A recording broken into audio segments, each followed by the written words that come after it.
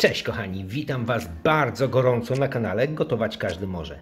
Dzisiaj tarta jabłkowa. Bardzo fajny, wspaniały, przepyszny przepis na cudowne ciasto. Kochani, jednakże zanim zaczniemy, chciałbym Was oczywiście bardzo gorąco zachęcić do subskrypcji kanału Gotować Każdy Może. Subskrybuj kanał, kliknij dzwoneczek, a każdy film, który, który opublikuję w sieci, oczywiście zostaniecie o nim powiadomieni w pierwszej kolejności, za co Wam bardzo, bardzo dziękuję.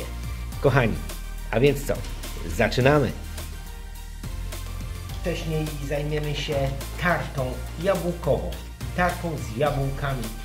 E, mąkę już sypałem do mojej miski. E, teraz co będziemy robić? Przede wszystkim będziemy w, e, w tym momencie będziemy robić spód do naszej tarty. E, tutaj znajduje się gdzieś około 300 gram mąki e, pszennej. Następnie będę dodawał masło. Masło, które schłodziłem, pokroiłem oraz schłodziłem e, w lodówce. Także dodaję po trochu moje masło. Jeszcze nie miksuję z tego względu, że z chwilą, kiedy zacznę miksować, miksować to tutaj troszeczkę się zakurzy oraz dodaję moje żółtko do miski i teraz zaczynam powoli miksować moją, moją tartę.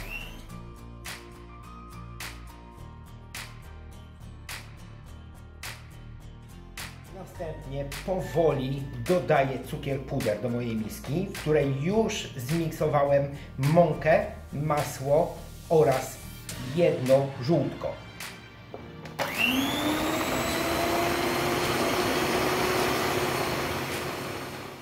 Ok, moi mili, po połączeniu wszystkich składników ugniotłem taką kulkę ciasta, no i teraz wstawiam ją do lodówki na pół godziny. Eee, to, co powinniście pamiętać, 300 g mąki, e, jedno żółtko, 100 g e, cukru pudru oraz 200 g masła, ewentualnie margaryny. Ciasto jest bardzo przyjemne w dotyku, nie klei się do rąk, także pół godziny do lodówki i zajmujemy się już teraz kremem do naszego ciasta. Ok, moi mili, do mojej miski takiej większej miseczki nalewam wody. Jest to wrzątek, praktycznie rzecz biorąc teraz e, gotowałem wodę. Następnie wstawiam mniejszą miskę, w której będziemy wszystko przygotowywać. Dodaję trzy żółtka. Następnie mąkę ziemniaczaną którą mam tutaj. Wszystko na biało, prawdzie rzecz biorąc, nie można rozróżnić, ale e, to, co mogę Wam powiedzieć. Mąka ziemniaczana, cukier puder, który znajduje się tutaj oraz cukier waniliowy na samym końcu. E, jest to jedna łyżka cukru waniliowego, 5 łyżek cukru pudru oraz dwie łyżki mąki ziemniaczanej. Dodaję wszystko do mojej miski oraz szklanka mleka. I będziemy miksować. Ok, kochani, moja masa praktycznie rzecz biorąc podwoiła swoją objętość. Zobaczcie, jaka jest puszysta. E, także ja na moment stawiam ją do lodówki i teraz zajmiemy się moim spodem do naszej tarty. Ok, kochani, ja już moje ciasto, mój spód e, na moją tartę wyłożyłem na moją blaszkę. W każdym bądź razie ugniotłem, e, na spód wylałem odrobinę oliwy, e, rozprowadziłem po całej blaszce i rozgniotłem moje ciasto ułożyłem moje ciasto na całej mojej blaszce. Rozgniotłem je tak po prostu, żeby pasowało do mojej formy.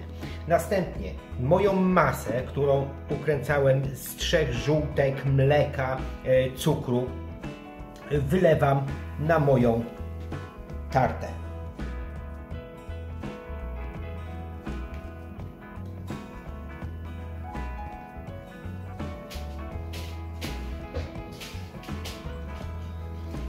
Następnie układam moje jabłka.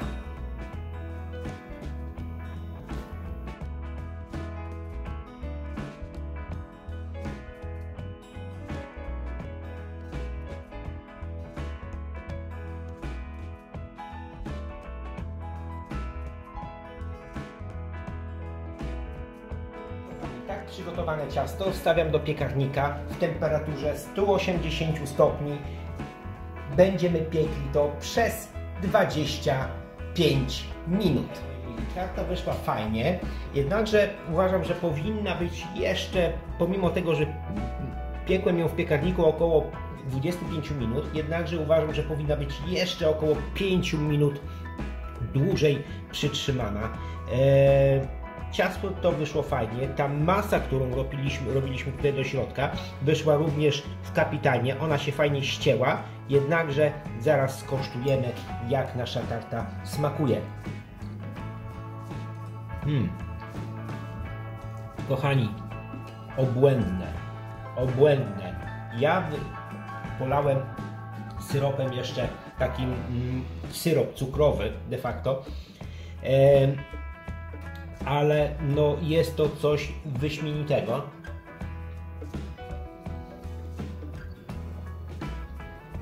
Naprawdę poezja smaku. Wybitne. Polecam, kochani, polecam ten przepis. E, Dzisiaj, kochani, przyznam się szczerze, że próbowałem go po raz pierwszy. Kiedyś robiłem tartę cytrynową, e, de facto właśnie z tą samą, e, z tą samą masą i mi nie wyszła. Przytrzymałem ją zbyt krótko, a całą tajemnicą jest to, że nie 25 minut, a 30 minut przytrzymujemy e, w temperaturze 180 stopni i w tym momencie całe nasze ciasto wychodzi idealnie. Mm. Kochani, pycha.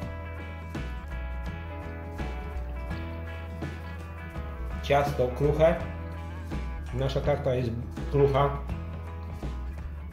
a masa idealna. Ok, moi mili. Jeżeli Wam się podobał mój film, zapraszam Was oczywiście do subskrypcji.